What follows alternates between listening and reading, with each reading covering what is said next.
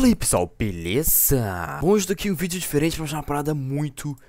Sin... É, é sério, é sinistra mesmo, cara. Eu estava aqui andando no Minecraft, quebrando blocos de grama, quando de repente eu pensei, Uau, e se Minecraft não fosse Minecraft? Aí eu lembrei que lá no fórum do Tig Source, mano, não sei como é que fala, Tig Source, Tig Source, que foi o primeiro post que o Notch fez sobre o Minecraft, ele postou uma parada assim, meio sinistra, cara. Vai estar tá aparecendo uma print aí na tela pra você ver, mano. Quando ele postou a primeira versão de todas do Minecraft, que não tem mais como baixar, eu já tentei baixar uma pena, porque senão faria vídeo, pô, deve ser muito legal, mano, mas putz. Ele falou assim, a inspiração principal é Infiniminer, que é um joguinho aí lá que parece muito Minecraft mesmo, você tem que quebrar as coisas lá e construir construir também é bem sinistro. Mas depois ele falou, mas vai caminhar um pouquinho mais para o estilo de Dwarf Fortress, mano, que é um jogo bem, bem, bem diferente. Aí você fala assim, pô, mas o Notch falou que vai mais pro Dwarf Fortress, então deve ter pelo menos algumas paradas parecidas, sei lá. Cara, eu vou mostrar pra vocês, pra vocês verem como que era, como que é não, como que é o Dwarf Fortress, que é um jogo muito estranho, não é estranho, cara, mas é muito difícil, é, cara, é o jogo mais difícil que eu já vi na minha vida, sério, eu já tentei jogar e é muito difícil. Imagina se Minecraft fosse parecido com Dwarf Fortress, cara, porque vocês vão ver como que é diferente.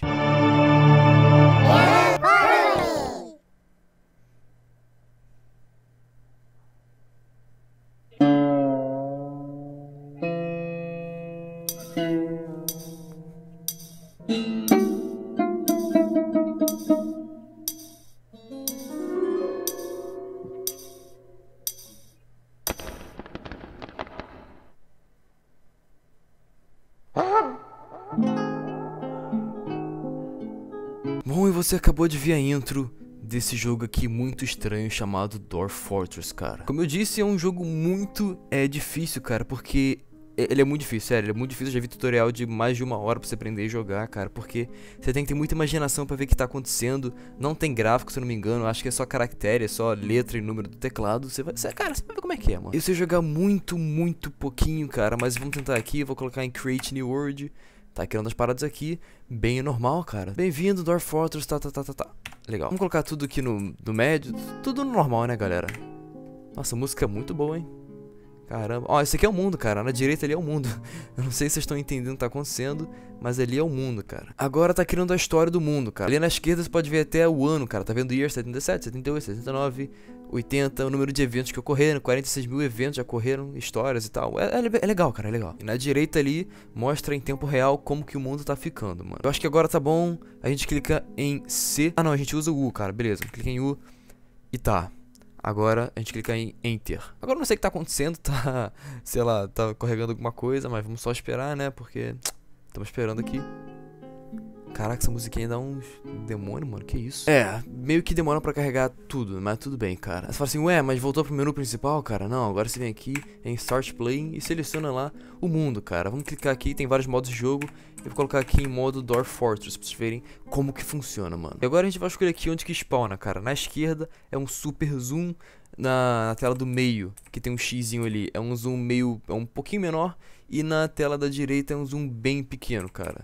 É muito difícil explicar isso aqui, mas espero que vocês estão entendendo o que tá acontecendo, cara. Aí eu vou escolher aqui um lugar, mano, e eu tenho que ver ali na direita pra ver se tem clay, pra ver se tem soil, pra ver se tem metal, essas coisas. Eu vou escolher bem aqui, ó, que aqui é perto de montanha, e vamos clicar em E. Play now. Se eu clicasse ali embaixo em Prepare for the Journey Carefully, cara, eu escolheria cada role de cada personagem meu, cara. Porque se eu não me engano você tem 6 ou 7 ou 5 ou 8, eu não lembro direito, cara. É dwarfs, tá ligado? E cada um faz uma coisa. Você tem o médico, você tem o construtor, você tem o cara que pega madeira, você tem o cara que planta e tal. E tem os mais de 100, mais de 100 profissões. Você tem que escolher um por um e você vai dando armas pra eles, você vai fazendo um montão de bosta, mano. Só que vai demorar muito, muito, muito e eu não quero fazer isso agora. Eu só quero mostrar como que funciona o jogo, mano. Eu já tô no jogo aqui, na verdade, aqui é o jogo. Você fala assim, pô, você tá pausado. Não, eu não tô pausado. Agora eu tô pausado. Agora eu não tô pausado. A esquerda ali é tudo que tá acontecendo, cara. Caraca, essa musiquinha. Eu não sei se tá alto não, cara, mas não dá. Pera aí, eu vou sair daqui, mano. Chega, dá não, galera. Yes. Please. Engine Game. Essa música tá me deixando muito triste, na moral. E eu não vou mostrar agora como é que joga, senão vai demorar muito o vídeo, cara. Não tem nada a ver com o vídeo, só queria mostrar como que seria o jogo do Minecraft se ele fosse mais para esse estilo de jogo. Que é que você tem vários anões e você vai comandando eles. Se você não joga, você só comanda eles fazer as coisas, para você minerar, para você fazer tudo, cara. Eu não sei como que Minecraft tá perto disso, tirando a parte de minerar, é claro, mas sei lá. O jogo é muito estranho, mas é parece ser bem legal. Todo mundo fala que é muito legal, mas é muito difícil de aprender. Então, se você aprender, por favor, me ensine. Um dos próximos do vídeo, cara. Eu estou falando do canal que você me ajudou pra caramba. E a gente vê no próximo vídeo. E falou.